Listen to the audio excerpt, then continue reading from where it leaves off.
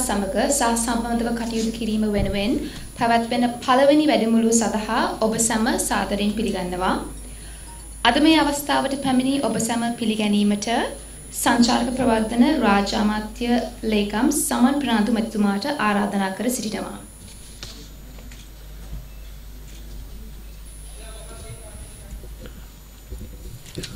සුබ උදෑසනක් වේවා සියලු දෙනාටම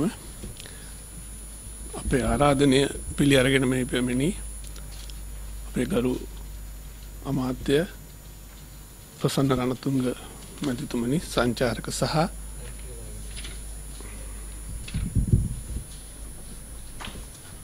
අද අපි සංචාරක ප්‍රවර්ධන අමාත්‍යංශය සහ සංචාරක සහ ගුවන් සේවා අමාත්‍යංශයේ විදිහට තමුන්නාන්සේලා සමග සාකච්ඡාවක් පැවැත්වීමට අදහස් කළේ වර්තමාන රජය සංචාරක ව්‍යාපාරය මේ රට දියුණු කරන්න තියෙන ප්‍රධානම අංශයක් ලෙස අඳුරගෙන තියෙනවා.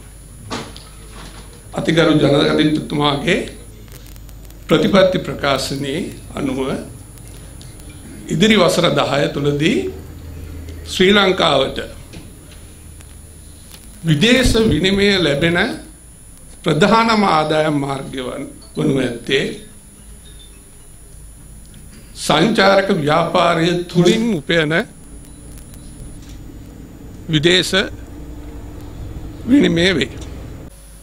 2030 වෙනකොට ඇමරිකානු ඩොලර් බිලියන 10ක වාර්ෂික විදේශ විනිමය ඉපීමක් සංචාරක ව්‍යාපාරය තුලින් බලාපොරොත්තු නමුත් මේ තාම හැතකදී අතිගරු ජනාධිපතිතුමා සමග තිබුණු සාකච්ඡාවකදී එතුමා නිලධාරීන් සහ ගරු අමාත්‍යවරුන්ට සඳහන් කළේ අපි එතෙක් සිටිය යුතු නැහැ.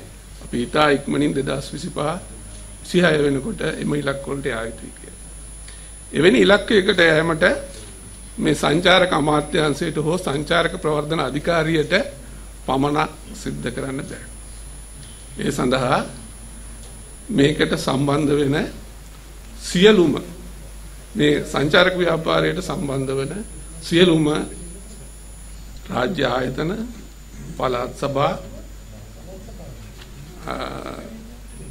පළාත් පාලන ආයතන පුද්ගලික අංශයේ ආයෝජකයෝ මහ ජනතාව සහ විවිධ පාර්ශ්වවල සහාය අවශ්‍ය අපි මේ ඉලක්කයට කඩිනමින් යන්න අපි හොඳ සංවාදයක් මේ සියලුම අංශ සමග ඇති කරගත යුතුයි කියලා.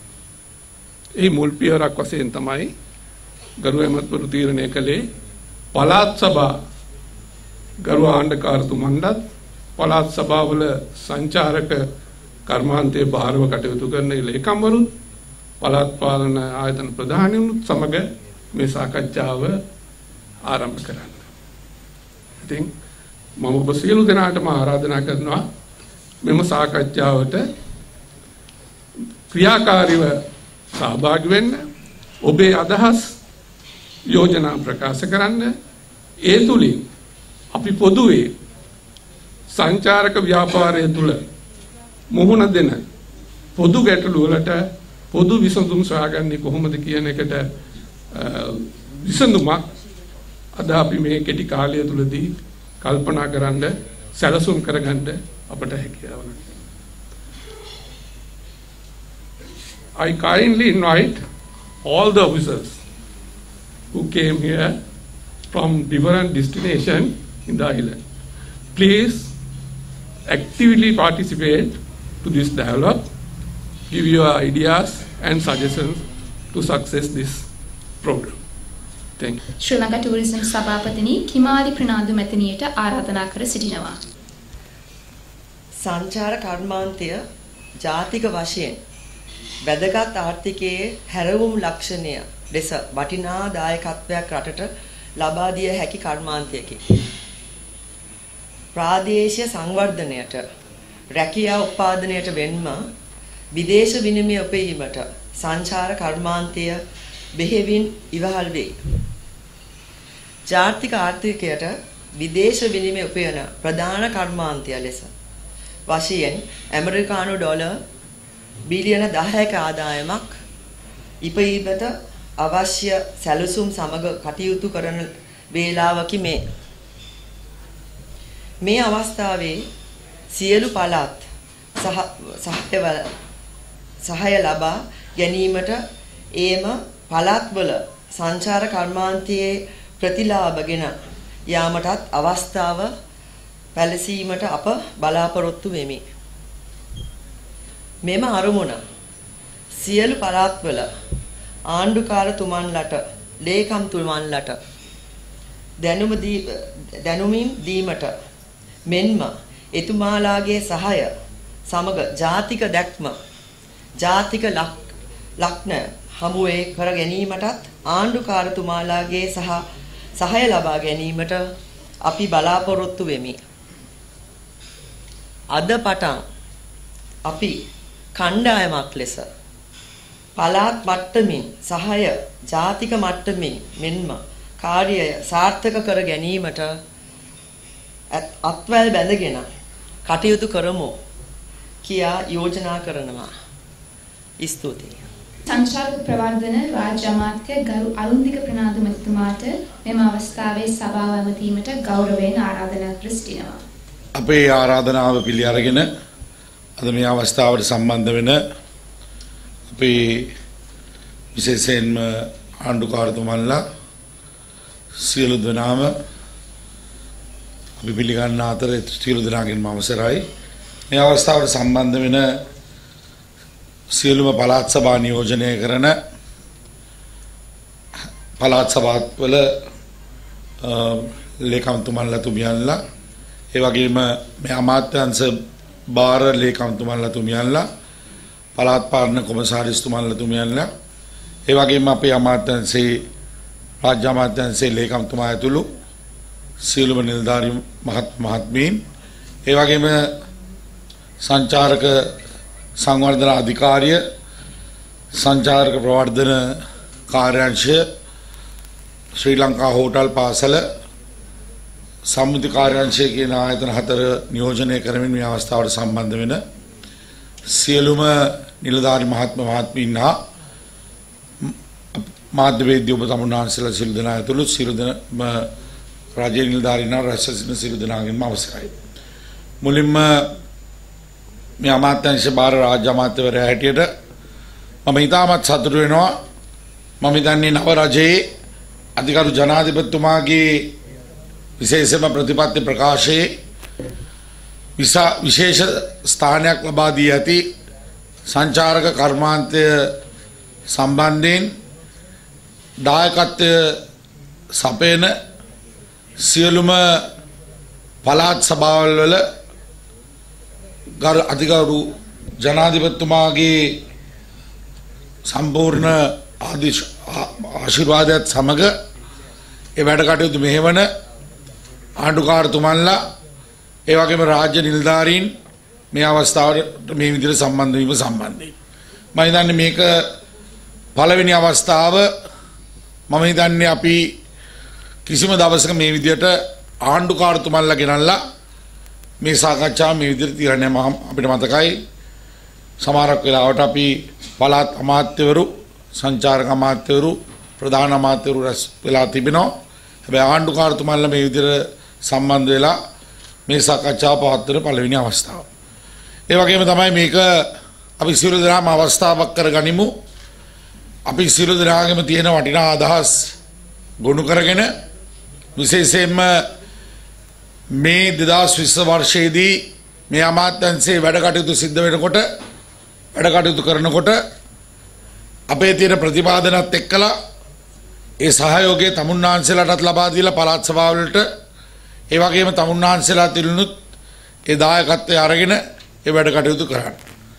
විශේෂයෙන්ම ගරු ආණ්ඩුකාරතුමනි අපේ බලාපොරොත්තුව තමයි පළාත් සභා හරහා. විශේෂයෙන්ම මේ රටේ ආකර්ශනීය ස්ථාන අඳුරා ගැනීම කියන කාරණාව. අපි කියනවා නම් new products. එහෙම නැත්නම් අලුත් තැන් අඳුරා ගැනීම කියන කාරණාව තමයි මම හිතන්නේ අපි මූලිකව කරන්න ඕන දේ. අපි දන්නවා හැම පළාතකම මේ රට ගත්තාම අපේ රටේ ආකර්ශනීය ස්ථාන තියෙනවා. හැම පළාතකමටම ආවේනික වෙච්ච පෞරාණික පුරාවිද්‍යාත්මක අ, වටිනාකමින් යුක්ත තැන් තියෙනවා. ඊළඟට ගත්තාම ස්වභාවික සෞන්දර්ය ජෛව විවිධත්වය ඒව සේරමත් එක්කලා එහෙම වටිනා ස්ථාන තියෙනවා. හැබැයි අපි දන්නේ නැති දැනුත් තියෙනවා. මෙතන ස- ග- ගරු ඇමතුමනි සංචාරක අමාත්‍යංශයේ සමහරන් නිලධාරීන් මේ වේවා ගිහිල්ලා ප්‍රවර්ධන කටයුතු කරනකොට ලෝකයේ අනිකුත් රටවල් වල අපි දැනගන්න ඕන මොනවද අපේ රටේ තියෙන ඒ සංචාර සංචාර කරන්න පුළුවන් ආකර්ශනීය තැන් මොනවද කියලා. හැමදාමත් එක විදිහට සම්ප්‍රදායික විදිහට සීගිරියයි උදාහරණයකට සීගිරියයි ඒ වගේ දේවල් විතරක්ම නෙමෙයි අලුත් තැන්. උදාහරණයක් හැටියට ගත්තාම දැන් උතුරු ප්‍රදේශය ගත්තොත් අපි දන්නවා අලුතෙන් අර පෞගේ කාලේ යුද්ධෙන් පස්සේ අ, විශාල වශයෙන් සංචාරකින් ඇදිලා ගිය අර කැචුරිනා බීච් එක වගේ තැන්. ඊළඟට ගත්තාම ඒ උතුරු ප්‍රදේශයේ අපිට ඒ නිදහස් කරගත්ත භූමියත් එක්කලා විශාල දූපත් ප්‍රමාණයක් ඇවිල්ලා තිනවා මන්නාරම ප්‍රදේශය. මන්නාරම ගත්තාම මන්නාරමේ අපි දැක්කා පහුගිය කාලෙදී අර ඉන්දියාවත් එක්ක සම්බන්ධ වෙන වැලි පාරය. නාවික හමුදාව එක්කලා මමත් සම්බන්ධ වුණ එක්තරා අවස්ථාවකදී එහෙම දර්ශනීය තැනක් මම දැකලා නැහැ. එතනට ගිහිල්ලා මම හිතන්නේ සංචාරකින් අරන් ගිහිල්ලා මේ ඔය මුහුදේ තියෙන ක්‍රීඩාවන් ස්නෝක්ලින් ඊළඟට ගත්තාම ස්කූබා ඩයිවිං වගේ ක්‍රීඩාවන් ඒ වගේ තමයි මුහුදේ රාණ්ඩ අණ්ඩා සංචාරකින් ඉන්නෝ තාමත් දර්ශනීය තැනක්. ඒ දූපත් සමූහයම තාමත් දර්ශනීයයි. දැවැන්ත දූපත් සමූහයක් තියෙනවා. ඊළඟට ගත්තාම නැගිටින පළාත ගත්තාම නැගිටින පළාතට වෙනම ආවේනික වෙච්ච ආකර්ශනීය ස්ථාන තියෙනවා. පුරාවිද්‍යාත්මක ස්ථාන තියෙනවා. ඒ වගේම තමයි දකුණු පළාත ගත්තාම දකුණු පළාතෙත් එහෙමයි. දකුණු පළාතේ අපි හැමදාම කතා කරන මේ මූදු තීරය විතරක් නෙමෙයි. දැන් අලුත් ස්ථාන හැටියට දෙනියාය වගේ තැන්. දද ඇල්ල දියුණු වෙලා තියෙනවා. ඇල්ල වගේම තැනක් තමයි දෙනියාය ඒ දකුණු පළාතේ සීත දේශගුණයේ තියෙන තැන්. මම හිතන්නේ ඊට වැඩි තැන් තමුන්නාන්සලා දන්නවා. මෙතන ඉන්න ලේකම්තුමාලා තුමියල්ලා විශේෂයෙන්ම දන්නවා තමුන්නාන්සලා මේ ප්‍රදේශවල ප්‍රාදේශීය ලේකම්වරුන් ලේකම් අ, තුමියල්ලා හැටියට ඉඳලා ඊළඟට මේ මේ ගමන එනකොට තමුන්නාන්සලා ගාව තියෙනවා අපිට වැඩි තොරතුරු. දැන් වායම පළාත ගත්තාම රාජධානි හතරක් තියෙනවා පුත්තලන් දිස්ත්‍රික්කය ඊළඟට කල්පිටිය අර්ධද්වීපය කල්පිටිය තියෙන දූපත් මාලදිවට වැඩි ලස්සනයි. දැන් ලෝකේ අ, තල්මසුන් නරබලා ඩොල්ෆින්ස නරබලා ඊළඟට එහෙම්ම ගිහිල්ලා විල්පත්තු අබේ භූමියට අරගෙන ගිහිල්ලා සංචාරකින්ම අලියත්තු පෙන්නනවා. එහෙම ආකර්ශනීය ස්- ස්ථාන සබර්ගම පළාත ගත්තාම දැන් මං ආණ්ඩුකාරතුමත් එක්ක කතා කරා ර- සබර්ගම පළාතට විස්තරක් අ, සම්බන්ධ වෙන දියාලි විශාල ප්‍රමාණයක් තියෙනවා. ඊළඟට අ, සප්ත කන්‍යා කන්දු වැටිය සිර- සිරිපාදය ඒහා ඒ වගේ තැන් කෑගල්ල දිස්ත්‍රික්කය රත්නපුර දිස්ත්‍රික්කය ඊළඟට ගත්තහම අපි අ, එතනින් එහාට එනකොට දැන් ඌව පළාත ගත්තාම දදැල්ල බණ්ඩාරවෙල මධ්‍යම පළාත ගත්තාම නුවරඑළිය නුවර දැන් මීමු මීමුරේ වගේ අලුත් ස්ථාන. බස්නාහිර පළාත ගත්තාම බස්නාහිර පළාතේ මුහුදු තීරය සහ ඇතුළේ ත- විශාල ප්‍රමාණයක් දැන් ගම්පා දිස්ත්‍රික්කයේ පවා තියෙනවා. අපි දන්නවා අ, රජමහා විහාර තියෙනවා පුරා විද්‍යාත්මක තැන් තියෙනවා අනිකුත් ආගමික ස්ථාන තියෙනවා විවිධ සංස්කෘති එක්කලා ඒව අලුත් දැන් උතුරු මැද පළාත ගත්තාම අපි හැමදාම කනගාටු වෙච්ච දෙයක් තමයි හැමතුමනි උතුරු මැද පළාතේ අනුරාධපුරයට සංචාරකින් ගෙනිච්ච නෑ පහුගිය කාලේ. පොළොන්නරුවට ගෙනිච්චා හබරනට ගෙනිච්චා අනුරාධපුරයට ගෙනිච්ච නෑ. හැබැයි අනුරාධපුරය ගත්තොත් දැන් අද ඉජිප්තුවට නැත්තම් මිස්රයට ඔය සංචාරකයන් ගෙනියන්නේ පිරමිඩ පෙන්වන්න. හැබැයි ඒ තාක්ෂණය මේ දාගෙන හදපු මේ දාගැබ් ටික.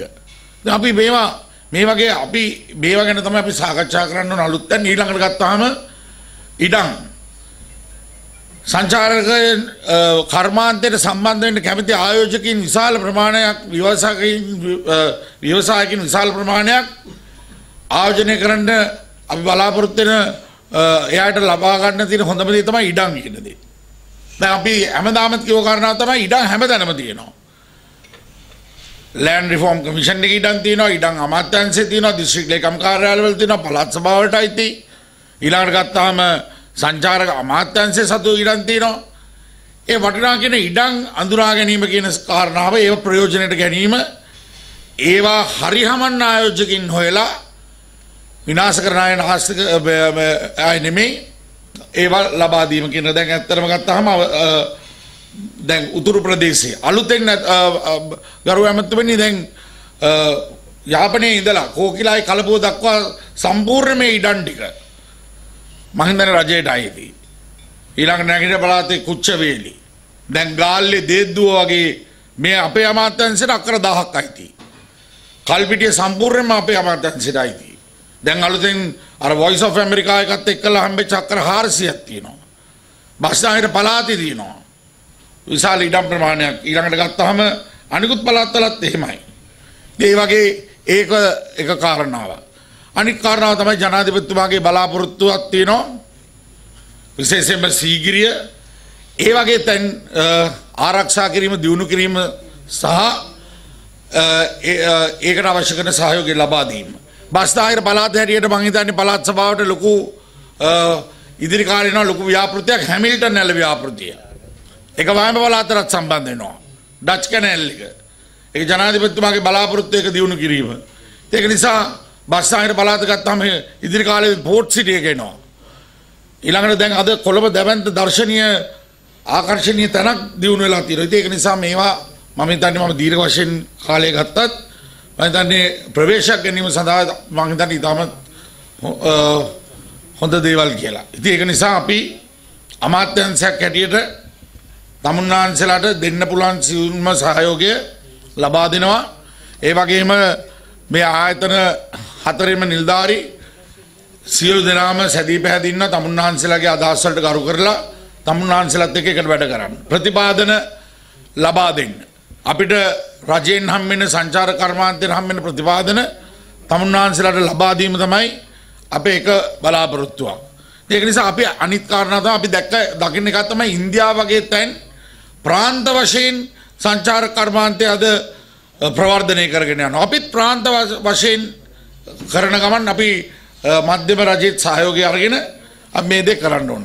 ඒක නිසා අද දිනේදී තමුන්නාන්සලා සියලු දෙනාම ඉතාමත් හොඳ සාකච්ඡාවක් කරයි කියන බලාපොරොත්තුවත් එක්කලා විශේෂයෙන්ම මේකට මේ සාකච්ඡාව සඳහා සම්පූර්ණයෙන්ම නායකත්වය දුන්න අපේ ගරු අමාත්‍යතුමාට හදපිරි ස්තුතිය බුද්ධ කරමින් මේ අවස්ථාවට අපේ අ, ආරාධනාව පිළිඅරගෙන කොතෙකුත් රාජකාරී තිබුණත් මේ අවස්ථාවට සම්බන්ධ වෙන ගරු ආණ්ඩුකාරතුමන්ලට සහ සියලුම නිලධාරීන්ට මගේ හදපිරි ස්තුතිය බුද්ධ කරමින් මගේ වචන ස්වල්පය අවසන් කරනවා. සේවා සහ ආයෝජන ප්‍රවර්තන අමාත්‍ය ගරු ප්‍රසන්න රණතුංග ඇමතිතුමාට සභාව ඇමතීමට ගෞරවයෙන් ආරාධනා කර සිටිනවා. අද සංචාරක ව්‍යාපාරය තුළ අලුත් නිර්මාණයක් ඇති කරන්න ගරු අමාත්‍යතුමා විසින් මේ සාකච්ඡාව කැඳවන්න තීන්දු කළ.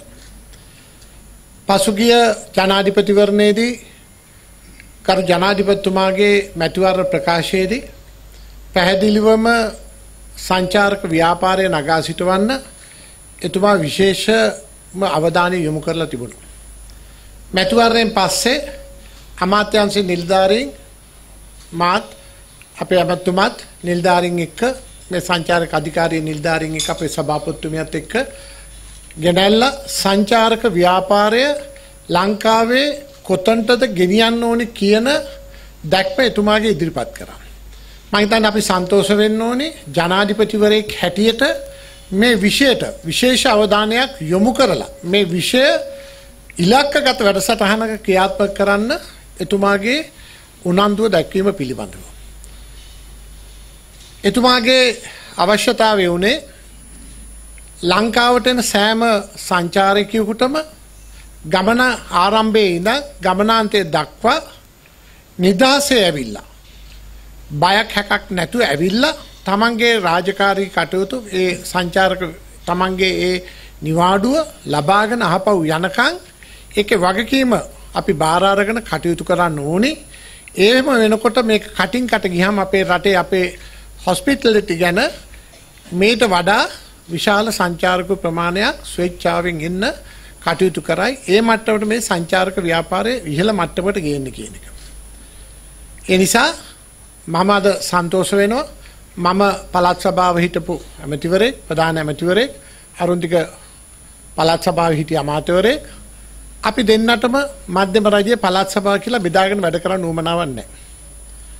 අපි දෙන්නටම රටේ ජාතික වැඩපිළිවෙල ක්‍රියාත්මක කරන්න මම දන්නවා පළාත් සභාවලට හොඳ හයියක් තියෙනවා. ඒ නිසා මේක පළාත් සභාවද මේක ජාතික ආණ්ඩුවේද කියලා බෙදා ගන්න අවශ්‍ය නැහැ. මේක එක වැඩපිළිවෙලක් හැටියට ඉස්සරහට ගෙනියන්න ඕනේ. මම හිතනවා ආණ්ඩුකාරතුමල්ලාගේ උපරිම සහයෝගය අපිට ලැබෙනවා ජනාධිපතිතුමාගේ බලාපොරොත්තු ඉටු කරන්න අපි ජාත්‍යන්තර හා ජාතික මට්ටමේ වැඩවලට අපි සම්බන්ධ වෙනකොට පළාත් මට්ටමේ ඒ ඉලක්කගත වැඩසටහනකට ඔබතුමල්ලා මේ සංචාරක ව්‍යාපාරය ගෙනියන්න ඕනේ. ඒ සඳහා අමාත්‍යංශයෙන් ලබා දෙන්න පුළුවන් උපරිම දායකත්වය අපි ලබා දෙන්න කටයුතු කරනවා. අපි තියෙන සංචාරක ස්ථාන වැඩි දියුණු කරනවා වගේම අලුත් තැන් හඳුනාගෙන ඒ පළාත්වල ඒ පළාත්වලටත් වැඩිපුර සංචාරකයෝ ගෙන්න එන්න වැඩපිළිවෙළවල් ඒ සංචාරක පළාත් සභාවල තියෙන මණ්ඩල හරහා අධිකාරී හරහා කටයුතු කරන්න පුළුවන්. ඒ නිසා මේ සාකච්ඡාව මම විශ්වාස කරනවා අද ආරම්භ කරලා හැම මාසයකට සැරයක් ගරු ඇමතුමාගේ ප්‍රධානත්වයෙන් නිලධාරීන් එක්ක සම්බන්ධ වෙලා මේකේ ප්‍රගතිය බලලා අපිට වාර්තාවක් ජනාධිපතිතුමාට ලබා දෙන්න පුළුවන්. ඒ නිසා මේ විෂය මම කැබිනට් ඇමතිවරයෙක් වුණත් මම්ම ගැසට් එකකින් මේ විෂය බාර දීලා තියෙනවා අරුන්තික ප්‍රනාන්දු ගරු අමාත්‍යතුමාට. ඒ නිසා එතුමාගේ වගකීම මේ ඉලක්ක කර වැඩසටහන කරන්න පළාත් සමග සම්බන්ධීකරණය කරමින් මේ කටයුතු සාර්ථක කරගන්න කටයුතු කරයි කියලා විශ්වාස කරනවා. මොකද එතුමා මාසික සැරක් බල්ල එක එතුමා මටත් රිපෝට් එකක් අපිටත් ඉල්ලගෙන එතුමා තමයි ජනාධිපතිතුමාට මේ වාර්තා ලබා දෙන්න වෙන්නේ. නිසා ඒ ඉලක්ක වලට යන වැඩපිළිවෙලක් හදන්න මම හිතන්නේ අපි හැමෝම අද තේරුම් ගන්න තියෙන වර්තමාන ජනාධිපතිතුමා හැම තැනම හැම අස්සක් හැම මුල්ලකටම යනවා. ඒ නිසා අපි හැමෝම ඒ පිළිබඳව අවධානය කටයුතු කරලා මේ සංචාරක ව්‍යාපාරයට සම්බන්ධ ක්‍රියාදාවලිය සාර්ථක කරගන්න පළාත්වල සහයෝගය අපිට ලබා දෙන්න කියන ඉල්ලීම කරමින් මම නිහඬ වෙනවා බොහොම